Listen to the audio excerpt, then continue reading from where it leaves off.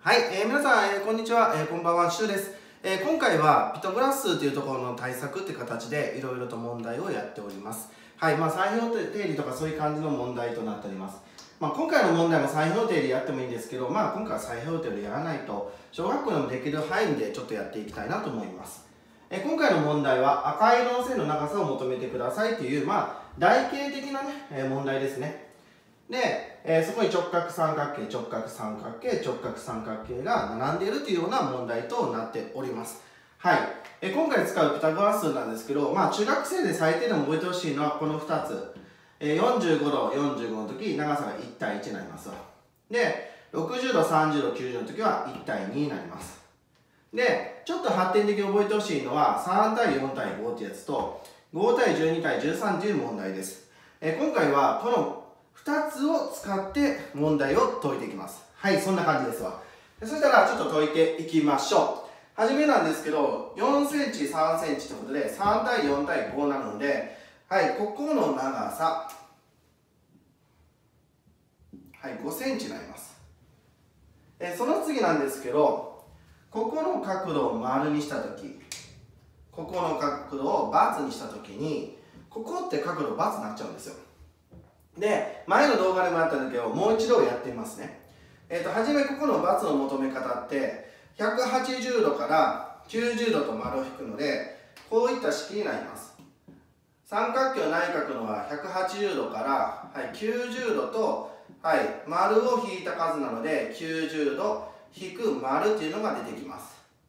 また、ここも、えー、同じように、はい、扇形の角度って180度です。180度から90度丸を引くので、え180度から、はい、90度と、はい、丸を引く。って形なので90引く丸と出てきます。なので文字が同じ。文字が同じですね。なので×やったらここも×になります。そうするとこの三角形とこの三角形は相似であるということが分かりますまあもう丸書いちゃってるからまあいいかここは丸になりますね。えー、こんな感じで出てきます。そしたら、比でやっていけばいいので、どういうふうにやっていくかっていうところなんですけど、ここの長さが出てくればいいってことなんですけど、そしたら、えー、斜辺が5センチ。それに対してここは分からないから、x センチとしておきましょう。そしたら、丸と四角。はい、丸と四角なので、はい、7.2センチが3センチと対応しているということが分かります。なので、これ対これは、これ対これという式を作っていきます。3センチ対7.2センチは、はい、5センチ対 x センチです。まあ、ここを割れるので、1と、はい、2.4にしておきましょうか。えそうすると、x は、はい、2.4×5 なので、はい、12センチと出てきます。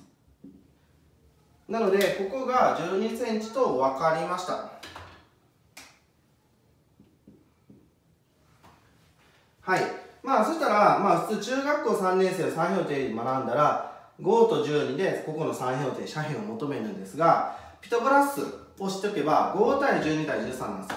なので、5対12対、ここは何センチかって言えば、はい、出てきました。えー、13センチが答えとなります。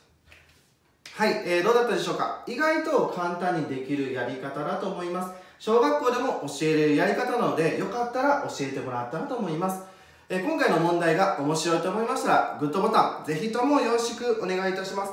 また、えー、チャンネル登録していただければ、またお知らせ、今日も動画出しますので、チャンネル登録してください。よろしくお願いいたします。それでは次の授業で。それではまた。じゃあね。バイバイ。